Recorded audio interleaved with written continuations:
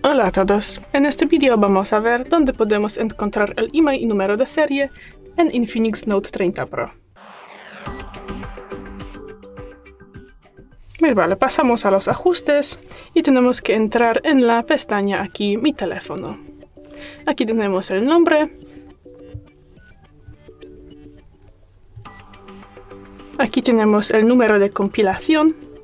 Tenemos que pasar a More Information, no sé por qué es en inglés, pero pasamos aquí. Información del teléfono. Eh, y tras eso aquí tenemos eh, dos números email y ahora vamos a buscar por el número de serie y para mm, encontrarlo tenemos que pulsar el modelo aquí y después de eso nos va a aparecer el número de serie también. Y ya es todo. Muchas gracias por ver el vídeo, déjanos un like y suscríbenos. Hasta luego.